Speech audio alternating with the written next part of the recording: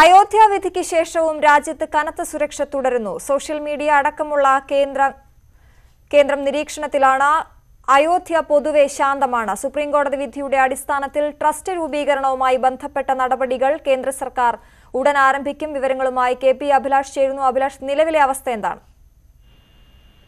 അയോധ്യ വിധി വന്ന് മണിക്കൂറുകൾ പിന്നിടുമ്പോഴും രാജ്യം ശാന്തമാണ് എന്നതാണ് എടുത്തു പറയേണ്ടത് അയോധ്യയിൽ കനത്ത സുരക്ഷാ സംവിധാനങ്ങൾ തുടരുന്നുണ്ട്. വിധിയുടെ പശ്ചാത്തലത്തിൽ അതോടൊപ്പം തന്നെ രാജ്യത്തെ വിവിധ കേന്ദ്രങ്ങളിൽ കനത്ത സുരക്ഷ തുടരുക തന്നെയാണ്. അയോധ്യയിലെ നിരോധനാജ്ഞ നേരത്തെ തന്നെ പ്രഖ്യാപിച്ചതാണ്. വിധി പ്രസ്താവം പുറത്തു വരുന്നതിന് മുമ്പ് തന്നെ ഡിസംബർ ഇരുപത്തിയെട്ട് വരെയാണ് നിരോധനാജ്ഞ പ്രഖ്യാപിച്ചിട്ടുള്ളത്. അനിഷ്ട സംഭവങ്ങൾ ഉണ്ടാകാത്ത പശ്ചാത്തലത്തിൽ ഒരുപക്ഷെ നിരോധനാജ്ഞയുടെ കാലാവധി വെട്ടിച്ചുരുക്കുവാനുള്ള സാധ്യത കാണുന്നുണ്ട്. മറ്റു മേഖലകളിലടക്കം അതീവ ജാഗ്രത തുടരുന്നുണ്ട്. മുംബൈയിൽ ഇന്നലെ നിരോധനാജ്ഞ പ്രഖ്യാപിച്ചിരുന്നു. ഇത് ഇന്ന് പതിനൊന്ന് മണിയാകുമ്പോഴേക്കും അവസാനിക്കും. മറ്റു സ്ഥലങ്ങളിലെല്ലാം തന്നെ നിരോധനാജ്ഞ ഇന്നലെ പ്രഖ്യാപിച്ചുവെങ്കിലും ഇന്നത്തെ കൊണ്ട് ഈ നിരോധനാജ്ഞ അവസാനിക്കുന്ന സാഹചര്യമാണ് ഉള്ളത്. പല മേഖലകളിലും മൊബൈൽ സർവീസുകൾ റദ്ദ് ചെയ്തിരുന്നു. അതോടൊപ്പം ഇന്റർനെറ്റ് ബന്ധങ്ങൾ വിച്ഛേദിക്കുകയും ചെയ്തിരുന്നു. ഇതെല്ലാം പുനഃസ്ഥാപിക്കുന്ന സാഹചര്യമാണ് ഉണ്ടാകുന്നത്. ഡൽഹിയിലും കനത്ത സുരക്ഷയാണ് തുടരുന്നത്. വിദ്യാഭ്യാസ സ്ഥാപനങ്ങൾക്കടക്കം ഇന്നലെ അവധി പ്രഖ്യാപിക്കുകയും ചെയ്തിരുന്നു. എടുത്തു പറയേണ്ടത് ഈ സാമൂഹിക മാധ്യമങ്ങളിൽ മേലുള്ള നിരീക്ഷണം തുടരും എന്നത് തന്നെയാണ്. ഇന്നലെ മുതൽ നിരീക്ഷണം ആരംഭിക്കുകയും ചെയ്തതാണ്. ഏതാനും ചില മേഖലകളിൽ നിന്നുള്ള ആളുകളെ അറസ്റ്റ് ചെയ്യുകയും ഒക്കെ ചെയ്തിരുന്നു. ഇനിയും വരുന്ന ദിനങ്ങളിലടക്കം ഇതുമായി ബന്ധപ്പെട്ട സൂക്ഷ്മമായ നിരീക്ഷണം തുടരും എന്നാണ് നമുക്ക് ലഭിക്കുന്ന വിവരം. മാത്രമല്ല ഈ നിയമപരമായ വിഷയത്തിൽ ഇനി തുടർന്നു പോകുന്നുണ്ട് എന്ന് സുന്നി വഖഫ് ബോർഡ് അതുപോലെ തന്നെ മുസ്ലിം വ്യക്തി നിയമ ബോർഡ് ഒക്കെ നിലപാട് എടുക്കേണ്ട സാഹചര്യമുണ്ട്. അവർ വീണ്ടും ഇതിന്മേൽ കൂടിയാലോചനകൾ നടത്തിയ ശേഷമായിരിക്കും ഇപ്പോഴത്തെ വിധിക്കെതിരെ പുനഃപരിശോധന ഹർജി സമർപ്പിക്കണോ എന്നത് അടക്കമുള്ള കാര്യങ്ങൾ തീരുമാനിക്കുക. അതുകൊണ്ട് തന്നെയാണ് ഈ സമൂഹ മാധ്യമങ്ങളുടെ നിരീക്ഷണം ശക്തമായി തുടരുന്നത്. അത്തരമൊരു നിലപാടിലേക്ക് പോയാൽ വീണ്ടും ഏതെങ്കിലും തരത്തിലുള്ള പ്രകോപനപരമായ പ്രതികരണങ്ങൾ ഉണ്ടാകുവാനുള്ള സാധ്യത കാണുന്നുണ്ട്. അഭിലാഷ് ഒപ്പം ട്രസ്റ്റ് രൂപീകരണവുമായി ബന്ധപ്പെട്ട നടപടികൾ ഉടൻ ആരംഭിക്കുമെന്നും അറിയുന്നു. അത് സംബന്ധിച്ച വിശദാംശങ്ങൾ കൂടി. ഇന്നലെ അയോധ്യ കേസുമായി ബന്ധപ്പെട്ട് സുപ്രീം കോടതി നടത്തിയ വിധി പ്രസ്താവത്തിൽ വളരെ കൃത്യമായി നിർദ്ദേശം നൽകിയിരുന്നു. അതായത് സുന്നി വക്കഫ് ബോർഡിന് അഞ്ച് ഏക്കർ സ്ഥലം അയോധ്യ രാമക്ഷേത്രം നിലനിന്നിരുന്നു എന്ന് പറയപ്പെടുന്ന പ്രദേശത്തിന് സമീപത്ത് തന്നെ നൽകണം. അതേസമയം തർക്കഭൂമിയായ രണ്ട് ദശാംശം ഏഴ് ഏഴ് ഏക്കർ ഭൂമി ഹിന്ദു വിശ്വാസികൾക്കായി നൽകുമ്പോൾ അതിൽ അതിന്റെ ഉടമസ്ഥാവകാശവും മറ്റ് ക്ഷേത്ര നിർമ്മാണത്തിന്റെയും ഒക്കെ ചുമതല വഹിക്കേണ്ടത് ഒരു ട്രസ്റ്റ് രൂപീകരിച്ചുകൊണ്ടായിരിക്കണം എന്നുള്ളതായിരുന്നു നൽകിയ നിർദ്ദേശം. ഇതിന് കേന്ദ്ര സർക്കാരാണ് നേതൃത്വം നൽകേണ്ടത് എന്നും കൃത്യമായി തന്നെ സുപ്രീം കോടതി വിധിയിൽ പറയുകയും ചെയ്യുന്നുണ്ട്. കേസിലെ പ്രധാനപ്പെട്ട മൂന്ന് കക്ഷികൾ എന്നത് രാംലല്ലയും സുന്നി വക്കഫോർഡും അതുപോലെ തന്നെ നിർമോഹി അഖാഡയുമായിരുന്നു. ഇതിൽ ഈ നിർമോഹി അഖാഡയ്ക്ക് അവരുടെ ഹർജി നിലനിൽക്കില്ല എന്ന് പറഞ്ഞുവെങ്കിലും ട്രസ്റ്റ് രൂപീകരിക്കുമ്പോൾ ആ ട്രസ്റ്റിയിൽ അംഗത്തെ ഉൾപ്പെടുത്തണമെന്ന നിർമോഹി അഖോഡയുടെ പ്രതിനിധിയെ ഉൾപ്പെടുത്തണമെന്നതടക്കമുള്ള നിർദ്ദേശം നൽ- നൽകുകയും ചെയ്തിരുന്നു. അതുകൊണ്ട് തന്നെ എത്രയും പെട്ടെന്ന് ട്രസ്റ്റ് ശരി രൂപീകരിക്കുക അയോധ്യ വിധിക്ക് ശേഷം രാജ്യത്ത് കനത്ത സുരക്ഷ തുടരുകയാണ്. ഇപ്പോൾ സ്ഥിതി ശാന്തമാണ്. കെ പി അഭിലാഷാണ് വിവരങ്ങൾ നൽകിയത്. നാല് നൂറ്റാണ്ടിന്റെ രാജ്യചരിത്രം കൂടിയാണ് സുപ്രീം കോടതി വിധിയിൽ കടന്നുവരുന്നത് പള്ളി ബാബറിന്റെ കാലത്ത് നിർമ്മിച്ചതാണെന്ന കാര്യത്തിൽ ഒരു തർക്കത്തിനും സാധ്യതയില്ലെന്നാണ് ഭരണഘടനാ ബെഞ്ചിന്റെ കണ്ടെത്തൽ. എന്നാൽ പന്ത്രണ്ടാം നൂറ്റാണ്ട് മുതൽ പതിനാറാം നൂറ്റാണ്ട് വരെ ഭൂമിയിലെ അവകാശം ആർക്കായിരുന്നു എന്ന കാര്യത്തിൽ ഇരുവിഭാഗത്തിനും തെളിവുകൾ ഹാജരാക്കാനായില്ല. അഞ്ചു നൂറ്റാണ്ട് മുൻപ് ആയിരത്തി അഞ്ഞൂറ്റി ഇരുപത്തിയെട്ടിൽ നിർമ്മിച്ച ഒരു പള്ളിയുടെ അവകാശം രണ്ടായിരത്തി പത്തൊൻപതിൽ തീരുമാനിക്കാൻ കഴിയുമോ? ആഗോള നിയമവൃത്തങ്ങളെല്ലാം ഏറെ കൗതുകത്തോടെ നോക്കിയ ആ കേസിൽ സുപ്രീംകോടതി ഭരണഘടനാ ബെഞ്ച് ശക്തമായ ചില നിരീക്ഷണങ്ങൾ നടത്തിയിട്ടുണ്ട്. പള്ളി ബാബറിന്റെ കാലത്ത് നിർമ്മിച്ചതാണ് എന്നതിൽ ഒരു തർക്കത്തിനും സാധ്യതയില്ല. എന്നാൽ പള്ളി പണിതത് ഒഴിഞ്ഞുകിടന്ന സ്ഥലത്തല്ല. അവിടെ വേറെ കെട്ടിടങ്ങൾ ഉണ്ടായിരുന്നു. ആർക്കിയോളജിക്കൽ സർവേ ഓഫ് ഇന്ത്യ നടത്തിയ ഗവേഷണത്തിൽ കണ്ടെത്തിയ വിവരങ്ങൾ വെറും ഊഹാപോഹങ്ങളല്ല. ഇസ്ലാമിക രീതിയിലല്ല പള്ളിയുടെ അടിസ്ഥാന നിർമ്മാണം. ഞാൻ വളരെയധികം സന്തോഷത്തോടു കൂടിയും സംതൃപ്തിയോടും കൂടി ഇതേവരെ കാത്തു നിന്നൊരു വിധിയായിട്ടാണ് ഞാൻ ഇതിനെ കണക്കാക്കുന്നത്. ഇത്രയും നല്ലൊരു വിധി വരുമെന്ന് ഒരിക്കലും ഊഹിക്കാൻ പോലും കഴിഞ്ഞിരുന്നില്ല. അത്ര നല്ലൊരു വിധിയാണ്. പള്ളിയുടെ നിർമ്മാണ രീതിയല്ല ഉപയോഗിച്ചത് എന്ന് പറയുന്നുണ്ടെങ്കിലും ക്ഷേത്രം പൊളിച്ചാണ് നിർമ്മിച്ചത് എന്നതിന് തെളിവില്ലെന്നും സുപ്രീം കോടതി പറഞ്ഞു. ക്ഷേത്രമാണ് പ്രദേശത്ത് നിന്നിരുന്നത് എന്ന് ആർക്കിയോളജിക്കൽ സർവേ അവകാശപ്പെട്ടില്ല. അതിനാൽ ബാബർ പള്ളി പണിത ആയിരത്തി അഞ്ഞൂറ്റി ഇരുപത്തിയെട്ടിന് മുൻപുള്ള അവകാശം ആർക്കും സ്ഥാപിക്കാനായില്ല. പന്ത്രണ്ടാം നൂറ്റാണ്ട് മുതൽ പതിനാറാം നൂറ്റാണ്ട് വരെയുള്ള ഭൂമിയുടെ അവകാശത്തിൽ ഇരുവിഭാഗത്തിന്റെയും അവകാശവാദത്തിന് തെളിവില്ല. ലോകത്ത് തന്നെ ഇത്ര പഴകിയ അവകാശ തർക്കത്തിൽ കോടതി വിധി പ്രഖ്യാപിക്കുന്നത് ആദ്യമാണ്. News eighteen Delhi. മഹാരാഷ്ട്രയിൽ സർക്കാർ രൂപീകരണത്തിനുള്ള സാധ്യത ചർച്ച ചെയ്യാൻ B J P core committee യോഗം ഇന്ന് ചേരും. സർക്കാർ രൂപവൽക്കരണത്തിന് governor Bhagat Singh Koshyari B J പിയെ ക്ഷണിച്ച സാഹചര്യത്തിലാണ് യോഗം. വിവരങ്ങളുമായി ഇ ആർ രാകേഷ് ചേരുന്നു. രാകേഷ് ബി ജെ പിയുടെ പ്രതീക്ഷ എത്രത്തോളമാണ്? വിശദാംശങ്ങൾ. അശ്വതി സർക്കാർ രൂപീകരിക്കാൻ താല്പര്യമോ അതിനുള്ള അംഗബലമോ ഉണ്ടെങ്കിൽ ഗവർണറെ സമീപിക്കണമെന്ന് കാണിച്ചുകൊണ്ട് ഗവർണർ ഭഗത് സിംഗ് കോശിയാരി ഇന്നലെയാണ് ബി ജെ പിയെ സർക്കാർ രൂപീകരണത്തിന് ക്ഷണിച്ചത് നാളെ എട്ട് മണിക്ക് മുമ്പായി മറുപടി നൽകാനാണ് നിർദ്ദേശം. ഏതായാലും ഇക്കാര്യം ചർച്ച ചെയ്യാനാണ് B J P core committee യോഗം ചേരുന്നത്. തെരഞ്ഞെടുപ്പിൽ ശിവസേനയും ബി ജെ പിയും സഖ്യമായാണ് മത്സരിച്ചിരുന്നത്. പക്ഷേ അതിനുശേഷം മുഖ്യമന്ത്രി സ്ഥാനത്തെ ചൊല്ലി ഇരു പാർട്ടികളും തമ്മിൽ തർക്കം ഉടലെടുക്കുകയും ഏതാണ്ട് വഴിവിരലിന്റെ വക്കിലെത്തുകയും ചെയ്തു. നിയമസഭയുടെ കാലാവധി പതിനഞ്ച് ദിവസം കഴിഞ്ഞിട്ടും സർക്കാർ രൂപീകരിക്കാൻ ബി ജെ പിക്ക് സാധിക്കുകയും ചെയ്തില്ല. മാത്രവുമല്ല ശിവസേനയെ അന്വയിപ്പിക്കാനും സാധിച്ചിരുന്നില്ല. തുടർന്നാണ് ഇപ്പോൾ ഏതായാലും ഏറ്റവും വലിയ ഒറ്റകക്ഷി എന്ന നിലയ്ക്കാണ് ഗവർണർ ബി ജെ പിയെ ക്ഷണിച്ചിട്ടുള്ളത്. ഏതായാലും ബി ജെ പി എല്ലാ സാധ്യതകളും സർക്കാർ രൂപീകരിക്കാനുള്ള സാധ്യതകൾ തേടുന്നുണ്ട്. ഇരുന്നൂറ്റി എൺപത്തിയെട്ട് അംഗ നിയമസഭയിൽ നൂറ്റി നാൽപ്പത്തിയഞ്ച് അംഗങ്ങളുടെ പിന്തുണയാണ് വേണ്ടത്. പക്ഷേ ബി ജെ പിക്ക് നൂറ്റി അഞ്ച് അംഗങ്ങളുടെ പിന്തുണയാണുള്ളത്. മഹാരാഷ്ട്ര നിയമസഭയിലേക്ക് ഇരുപത്തിയൊൻപത് സ്വതന്ത്രം വിജയിച്ചിട്ടുണ്ട്. ഇതിൽ പതിനഞ്ച് പേർ ഒപ്പമുണ്ടെന്നാണ് ബി ജെ പിയുടെ അവകാശവാദം. എങ്കിൽ പോലും കേവല ഭൂരിപക്ഷത്തിന് പിന്നെയും ഇരുപതിലധികം അംഗങ്ങളുടെ പിന്തുണ ആവശ്യമുണ്ട്. അതുകൊണ്ട് തന്നെ മറ്റ് സാധ്യതകൾ ഏതായാലും ബി ജെ പി തേടുന്നുണ്ട്. ഒരുപക്ഷെ മറ്റു പാർട്ടികളിൽ നിന്ന് എം എൽ എമാരെ അടർത്തിയെടുത്തടക്കമുള്ള നടപടികൾ ബി ജെ പി നീക്കുന്നുണ്ട്. ഏതായാലും ഇക്കാര്യങ്ങളെല്ലാം തന്നെ കോർ കമ്മിറ്റി യോഗത്തിൽ ചർച്ചയ്ക്ക് വരും. സർക്കാർ രൂപീകരിക്കാൻ സാധ്യത തെളിഞ്ഞാൽ മാത്രമായിരിക്കും അത്തരത്തിലുള്ള അവകാശവാദം ഗവർണർ മുമ്പാകെ ബി ജെ പി ഉന്നയിക്കുക. രാകേഷാണ് വിവരങ്ങൾ നൽകിയത്.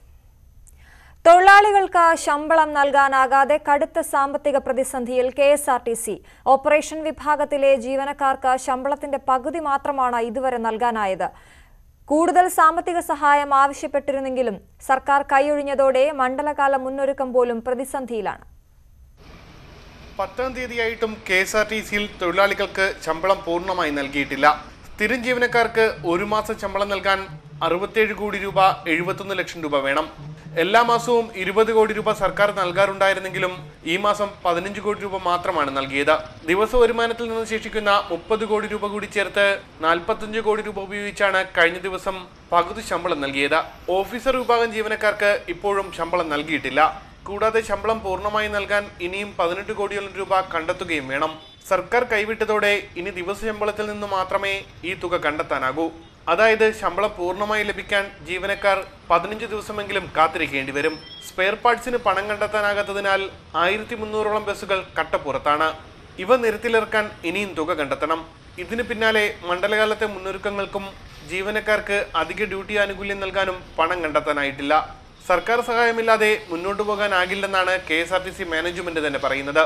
K S R T C M D M P ദിനേശിനെ മുഖ്യമന്ത്രി നേരിട്ട് വിളിച്ചു വരുത്തി സാഹചര്യങ്ങൾ ചോദിച്ചറിഞ്ഞിട്ടും പരിഹാരമുണ്ടായില്ല. News eighteen Thiruvananthapuram. Idukki Santhanpara Rijosh കൊലക്കേസിൽ പ്രതി വസീമിന്റെയും റിജോഷിന്റെ ഭാര്യ ലിജിയുടെയും ആരോഗ്യനില അതീവ ഗുരുതരമായി തുടരുന്നു. ഇരുവരും ചേർന്ന് വിഷം കൊടുത്ത് കൊലപ്പെടുത്തിയ രണ്ടു വയസ്സുകാരി ജുവാനിയുടെ പോസ്റ്റ്മോർട്ടം ഇന്ന് മുംബൈയിൽ നടക്കും. കുട്ടിയുടെ മൃതദേഹം ഏറ്റുവാങ്ങാനായി റിജോഷിന്റെ ബന്ധുക്കൾ മുംബൈയിലേക്ക് പുറപ്പെട്ടു. കൂടുതൽ വിവരങ്ങളുമായി സന്ദീപ് രാജാക്കാട് ചേരുന്നു. സന്ദീപ് ഇരുവരുടെയും ആരോഗ്യനില സംബന്ധിച്ച് ഏറ്റവും ഒടുവിൽ ലഭിക്കുന്ന വിവരങ്ങൾ എന്തൊക്കെയാണ്? അശ്വതി ഇരുവരുടെയും നില അതീവ ഗുരുതരമായി തന്നെ തുടരുകയാണ്. നില ഗുരുതരമായതിനെ തുടർന്ന് തന്നെ ഇന്നലെ പൻവേൽ ഹോസ്പിറ്റലിൽ നിന്നും ഇവരെ വാസിമിലുള്ള ജെ- ജെ ഹോസ്പിറ്റലിലേക്ക് മാറ്റിയിരുന്നു. പോലീസ് നിരീക്ഷണത്തിൽ ഇവിടെ തീവ്രപരിചരണ വിഭാഗത്തിൽ ഇവരിപ്പോൾ ചികിത്സയിലാണ്. അതോടൊപ്പം തന്നെ കുട്ടിയുടെ മൃതദേഹം പൻവേൽ ഹോസ്പിറ്റലിൽ ഇന്ന് പത്ത് മണിക്ക് ശേഷം പോസ്റ്റ്മോർട്ടം നടത്തും എന്നാണ് നമ്മൾക്ക് അറിയാൻ കഴിയുന്നത്. കുട്ടിയുടെ മൃതദേഹം ഏറ്റുവാങ്ങുന്നതിനായി ഇവിടെ നിന്ന് ബന്ധുക്കളടക്കം മുംബൈയിലേക്ക് തിരിച്ചിട്ടുണ്ട്. അതോടൊപ്പം തന്നെ യുവാനിയുടെ മരണ വാർത്ത ഹൈറേഞ്ചിനെ തന്നെ വലിയ ആഘാതം ഏൽപ്പിച്ചിട്ടുണ്ട് ആളുകളുടെ ഉള്ളിൽ യുവാന തിരിച്ചെത്തും എന്ന ഒരു പ്രതീക്ഷയുണ്ടായിരുന്നുവെങ്കിലും യുവാനയുടെ മരണ വാർത്ത ഇടുക്കിയെ തന്നെ കണ്ണീരിലാഴ്ചയെന്ന് നമുക്ക് പറയാം. ബന്ധുക്കളും നാട്ടുകാരും അടക്കം വലിയ ദുഃഖത്തിലാണ് ഇരിക്കുന്നത്. അതിന്റെ ഒരു ആഘാതത്തിൽ നിന്ന് വിട്ടുമാറാത്ത ഒരു സാഹചര്യം നിലവിലുണ്ട്. അശ്വതി ശരി. സന്ദീപ് രാജാക്കാടാണ് വിവരങ്ങൾ നൽകിയത്. ബംഗാൾ ഉൾക്കടലിൽ രൂപം കൊണ്ട ബുൾബുൾ ചുഴലിക്കാറ്റിൽ രണ്ടു മരണം. പശ്ചിമ ബംഗാളിലും ഒഡീഷയിലുമാണ് മരണം റിപ്പോർട്ട് ചെയ്തത്. ഇന്നലെ രാത്രിയോടെ ബംഗാൾ തീരത്താഞ്ഞു വീശിയ ചുഴലിക്കാറ്റിൽ നിരവധി മരങ്ങൾ കടപുഴകി വീഴുകയും തീരദേശത്തുള്ള വീടുകൾക്ക് കേടുപാടുകൾ സംഭവിക്കുകയും ചെയ്തു. കൊൽക്കത്തയിൽ നിന്നുള്ള വിമാന സർവീസുകൾ താൽക്കാലികമായി നിർത്തിവച്ചിരിക്കുകയാണ്. ബംഗ്ലാദേശ് തീരത്തേക്ക് നീങ്ങുന്ന ചുഴലിക്കാറ്റിന്റെ തീവ്രത കുറഞ്ഞേക്കുമെന്നാണ് റിപ്പോർട്ടുകൾ. വീണ്ടും വാർത്തകളിലേക്ക്. തമിഴ്നാട് പോലീസ് പിടികൂടിയ മാവോയിസ്റ്റ് നേതാവ് ദീപകിനെതിരെ കേരളത്തിൽ നിരവധി കേസുകൾ. C P I Maoist Bhavani ദളത്തിന്റെ പ്രധാന നേതാവായ ദീപക് മാവോയിസ്റ്റ് സായുധ സേനയിലെ പ്രധാനിയാണ്. അട്ടപ്പാടി മഞ്ചുകണ്ടിയിലെ ഏറ്റുമുട്ടലിലും ദീപക് പങ്കെടുത്തതായി പോലീസ് പറയുന്നു. ദീപകിനെ ഇന്ന് കോയമ്പത്തൂർ കോടതിയിൽ ഹാജരാക്കും. തമിഴ്നാട് സ്പെഷ്യൽ ടാസ്ക് ഫോഴ്സ് ഇന്നലെ ആനക്കെട്ടി മേഖലയിൽ നിന്നും പിടികൂടിയ ദീപക്കിനെതിരെ നിരവധി കേസുകളാണ് കേരളത്തിലുള്ളത്. രണ്ടായിരത്തി പതിനേഴ് മുതൽ വയനാട് കോഴിക്കോട് മലപ്പുറം പാലക്കാട് ജില്ലകളിലെ വനമേഖലകളിൽ ദീപക്കിന്റെ സാന്നിധ്യമുണ്ടെന്നാണ് പോലീസ് രേഖകൾ. രണ്ടായിരത്തി പതിനെട്ട് ഒക്ടോബർ പതിനാറിന് Thamarassery Peruvannamuzhi forest range office ജീവനക്കാരെ ആക്രമിച്ച കേസിൽ ദീപക് മുഖ്യപ്രതിയാണ്. അട്ടപ്പാടി വയനാട് തുടങ്ങിയ മേഖലകളിലും ദീപക്കിനെതിരെ കേസുകളുണ്ട്. ഇതിനു പുറമെയാണ് തമിഴ്നാട്ടിലെയും കർണാടകത്തിലെയും കേസുകൾ. അട്ടപ്പാടി വനമേഖലയിൽ നടന്ന ഏറ്റുമുട്ടലിൽ ദീപക്കും ഉണ്ടായിരുന്നതായി പോലീസ് പറയുന്നു. അവിടെ നിന്നും രക്ഷപ്പെട്ട ഇയാൾക്കായി തണ്ടർബോൾട്ട് തെരച്ചിൽ തുടരുന്നതിനിടെയാണ് തമിഴ്നാട് പോലീസ് പിടികൂടിയത്. തമിഴ്നാട് പോലീസിൽ നിന്നും രക്ഷപ്പെടാൻ ശ്രമിക്കുന്നതിനിടെ ദീപക്കിന്റെ കാലിന് പരുക്കേറ്റു. ഇയാളെ കോയമ്പത്തൂർ മെഡിക്കൽ കോളേജിൽ പ്രവേശിപ്പിച്ചു. ദീപക്കിനൊപ്പം മറ്റ് രണ്ടുപേർ കൂടി ഉണ്ടായിരുന്നെന്നും ഇവർ രക്ഷപ്പെട്ടതായും തമിഴ്നാട് പോലീസ് വ്യക്തമാക്കി. തമിഴ്നാടിന്റെ ചോദ്യം ചെയ്യലും തെളിവെടുപ്പും പൂർത്തിയായാൽ ദീപക്കിനെ കേരള പോലീസും കസ്റ്റഡിയിൽ വാങ്ങും. News eighteen Palakkad. അട്ടപ്പാടിയിൽ കൊല്ലപ്പെട്ട മാവോയിസ്റ്റ് അരവിന്ദ് അല്ലെന്ന വാദം മൃതദേഹം ചെന്നൈ സ്വദേശി ശ്രീനിവാസന്റേതാണെന്ന് അവകാശപ്പെട്ട ബന്ധുക്കൾ രംഗത്തുവന്നു ഡി ടെസ്റ്റ് നടത്തി മൃതദേഹം ആരുടേതെന്ന് സ്ഥിരീകരിക്കാനാണ് പോലീസ് തീരുമാനം. അട്ടപ്പാടിയിൽ കൊല്ലപ്പെട്ട മാവോയിസ്റ്റുകളിൽ ഒരാൾ അരവിന്ദാണെന്നായിരുന്നു പോലീസ് പറഞ്ഞിരുന്നത് പോലീസ് അരവിന്ദന്റേതെന്ന് പുറത്തുവിട്ട ചിത്രം ചെന്നൈ സ്വദേശി ശ്രീനിവാസിനോട് സാമ്യമുള്ളതായിരുന്നു ഈ ചിത്രം കണ്ടാണ് ശ്രീനിവാസിന്റെ ബന്ധുക്കൾ തൃശൂരിലെത്തിയത് ഇൻക്വസ്റ്റ് നടപടിയുടെ സമയത്തെ ഫോട്ടോകൾ കണ്ട് മൃതദേഹം ശ്രീനിവാസിന്റേതാണെന്ന് ബന്ധുക്കൾ തിരിച്ചറിയുകയായിരുന്നു ஓல்டு ஃபோட்டோ கொடுத்து சப்மிட் பண்ணியிருக்கேன் ரெக்கார்ட் சப்மிட் பண்ணியிருக்கேன் அஹ் பாதி ஃபேஸ் வந்து இதுவாக இருக்குது இனர்ஜி இனர்ஜிஸாக இருக்குது ஸோ அதனால் டோட்டலாக ஐடென்டி பண்ண முடியல ശ്രീനിവാസന്റെ സഹോദരങ്ങളായ രാജഗോപാലൻ ജയരാമൻ എന്നിവർ മോർച്ചറിയിലെത്തിയെങ്കിലും മൃതദേഹം പൂർണമായും ശ്രീനിവാസന്റേതാണെന്ന് തിരിച്ചറിയാൻ ബന്ധുക്കൾക്ക് കഴിഞ്ഞിരുന്നില്ല. ഇതോടെ ഇൻക്വസ്റ്റ് നടപടിയുടെ സമയത്തെ ഫോട്ടോകൾ കാണിക്കുകയായിരുന്നു. മൃതദേഹം ആരുടേതെന്ന് സ്ഥിരീകരിക്കാൻ ഡി എൻ എ പരിശോധന നടത്തണമെന്ന ഇവർ പോലീസിനെ അറിയിച്ചു. പരിശോധനയ്ക്കായി സഹോദരങ്ങളുടെ രക്തസാമ്പിളുകൾ ശേഖരിച്ചിട്ടുണ്ട്. തമിഴ്നാട് സ്വദേശി മണിവാസകത്തിന്റെ മൃതദേഹം സഹോദരി നേരത്തെ തിരിച്ചറിഞ്ഞിരുന്നു. വിരലടയാളങ്ങളുടെ പരിശോധനയിൽ കൊല്ലപ്പെട്ട കാർത്തിയുടെ മൃതദേഹവും തിരിച്ചറിഞ്ഞിട്ടുണ്ട്.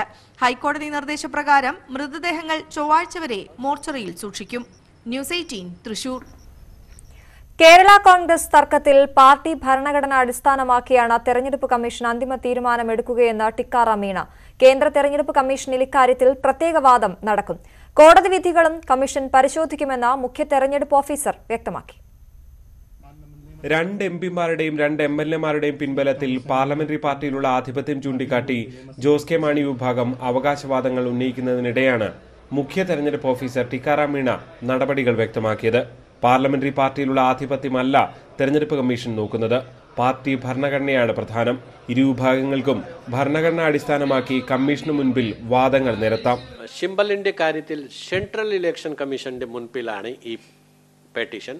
സെൻട്രൽ ഇലക്ഷൻ കമ്മീഷൻ അവർ അവിടെ ഉന്നയിച്ചാൽ അവിടെ പോയി വാദിച്ചാൽ അവിടെയാണ് തീരുമാനിക്കേണ്ടത്. എന്റെ മുൻപിലെ ഇല്ല ഈ വിഷയം. കോടതി വിധികളും കമ്മീഷൻ പ്രത്യേകമായി പരിഗണിക്കും. രാഷ്ട്രീയ പാർട്ടികൾ തയ്യാറായാൽ വേഗത്തിൽ വാദം പൂർത്തിയാക്കി തീരുമാനമെടുക്കും. ഇതിനോട് എതിർപ്പുണ്ടെങ്കിൽ കോടതിയെ സമീപിക്കാം.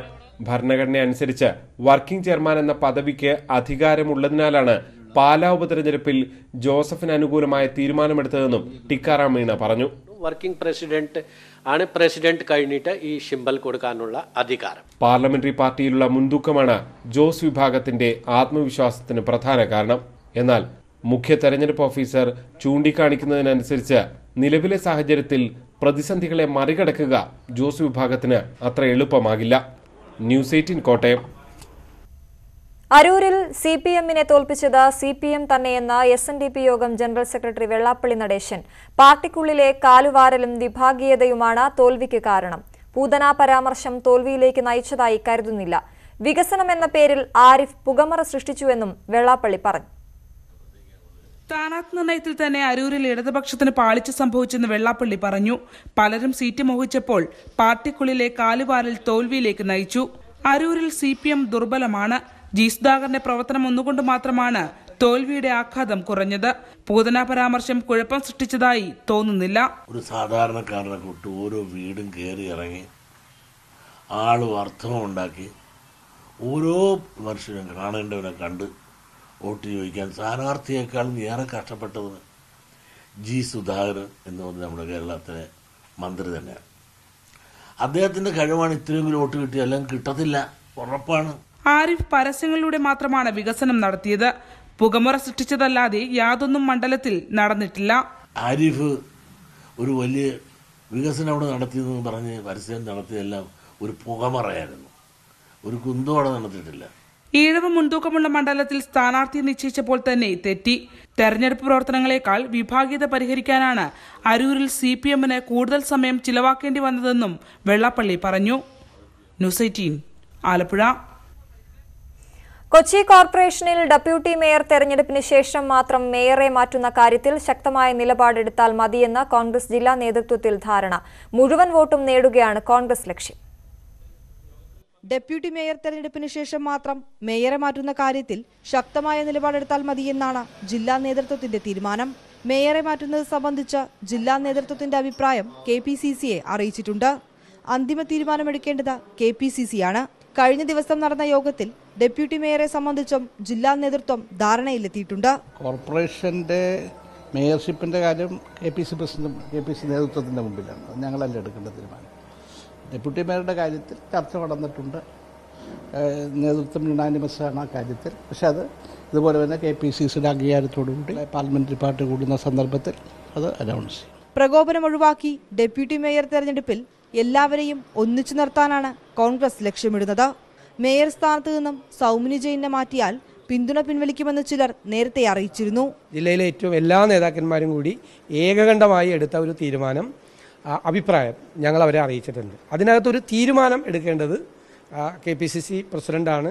നിലവിലെ സാഹചര്യം പരിഗണിച്ച് ഇന്ന് ചേരുന്ന പാർലമെന്ററി പാർട്ടി യോഗത്തിൽ മുഴുവൻ ആളുകൾക്കും വിപ്പ് നൽകാനാണ് സാധ്യത. News eighteen Kochi.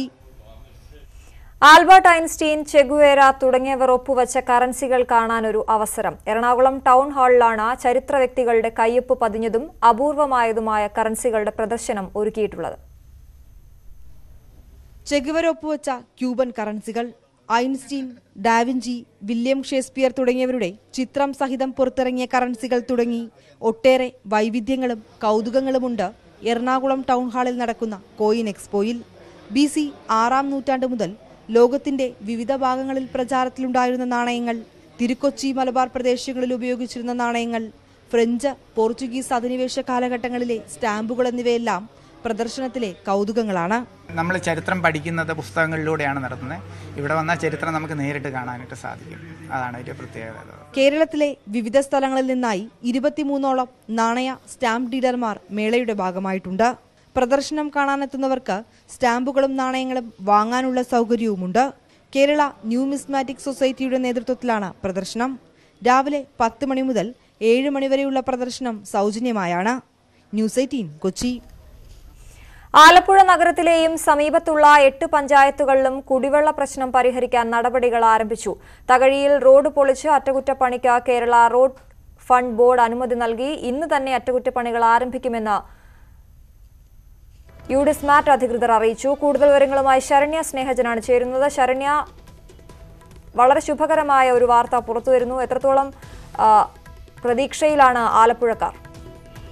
അശ്വതി പതിനൊന്ന് ദിവസമായി ആലപ്പുഴ നഗരവും അതിനോട് ചേർന്നുള്ള എട്ട് പഞ്ചായത്തിലെയും ലക്ഷക്കണക്കിന് ആളുകൾ അനുഭവിക്കുന്ന പ്രശ്നത്തിനാണ് ഇപ്പോൾ പരിഹാരമായിരിക്കുന്നത്. യു ഡി സ്മാർട്ട് അധികൃതർക്ക് റോഡ് പൊളിച്ച് നിർമ്മാണം ആരംഭിക്കാനായി കേരള റോഡ് ഫണ്ട് ബോർഡ് അധികൃതർ അനുമതി നൽകിയിരിക്കുന്നു.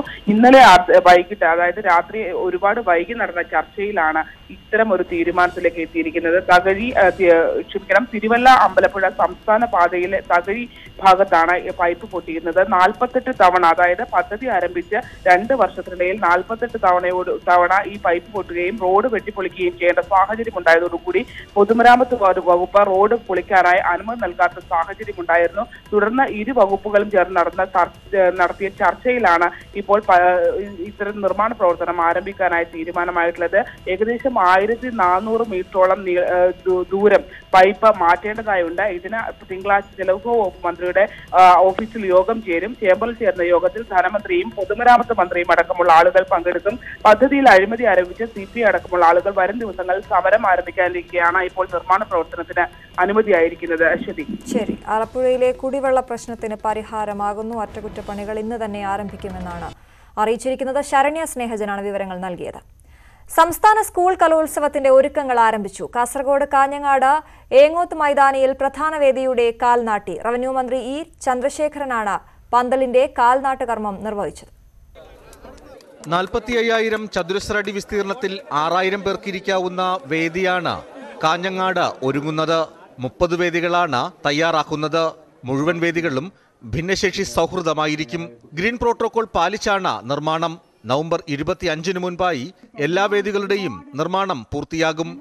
കേരളത്തിന്റെ എല്ലാ ജില്ലകളിൽ നിന്നും എത്തുന്ന പതിനായിരത്തിൽ പരം വരുന്ന പതിനാലായിരത്തിൽ പരം വരുന്ന മത്സരാർത്ഥികളെ ഉൾക്കൊള്ളാൻ അതിനാവശ്യമായ എല്ലാവിധ പ്രവർത്തനങ്ങളും നടത്താൻ നമ്മുടെ ജനപ്രതിനിധികൾ നമ്മുടെ നാട് നമ്മുടെ പൊതുസമൂഹം നമ്മുടെ മാധ്യമ സുഹൃത്തുക്കൾ നമ്മുടെ നാട്ടിലെ കലാ സാംസ്കാരിക രംഗത്തെ എല്ലാ തരത്തിലും പ്രോത്സാഹിപ്പിക്കാൻ മുന്നോട്ട് വരുന്ന മുഴുവൻ ജനങ്ങളും സന്നദ്ധരായിരിക്കുക. ഇരുപത്തിയെട്ട് വർഷങ്ങൾക്ക് ശേഷം ജില്ലയിലെത്തിയ കലാമാമംഗത്തെ കാഞ്ഞങ്ങാട്ടുകാർ നെഞ്ചിലേറ്റി നെഞ്ചിലേറ്റിക്കഴിഞ്ഞു കലോത്സവ ഒരുക്കങ്ങളുടെ ആദ്യപടിയായ പന്തലിന്റെ കാൽനാട്ട് കർമ്മത്തിന് പങ്കാളികളാകാൻ നാട്ടുകാരും ജനപ്രതിനിധികളും ഒത്തുചേർന്നു. വിദ്യാർത്ഥികളുടെ കലാപ്രകടനവും അരങ്ങേറി. News eighteen Kasaragod. Digital showroom ശൃംഖലയായ myG പതിനാലാം വാർഷികം ആഘോഷിച്ചു. വാർഷികത്തോടനുബന്ധിച്ച് വിവിധ ഷോറൂമുകളിൽ നടന്ന ആഘോഷ പരിപാടിയിൽ പ്രമുഖ ചലച്ചിത്ര താരങ്ങൾ പങ്കെടുത്തു. കോഴിക്കോട് ഒറ്റമ്മൽ മൈജി ഫ്യൂച്ചർ ഷോറൂമിലെ ആഘോഷത്തിൽ നടി ഇഷ തൽവാർ അതിഥിയായി. ഹണി റോസ് ഷൈൻ നിഗം അനുസിത്താര തുടങ്ങിയവർ വിവിധ ഷോറൂമുകളിലെത്തി. തിരുവനന്തപുരത്തെ പട്ടം ഷോറൂമിൽ നടി നിക്കി ഗൽറാണിയായിരുന്നു അതിഥി. വാർഷികത്തോടനുബന്ധിച്ച്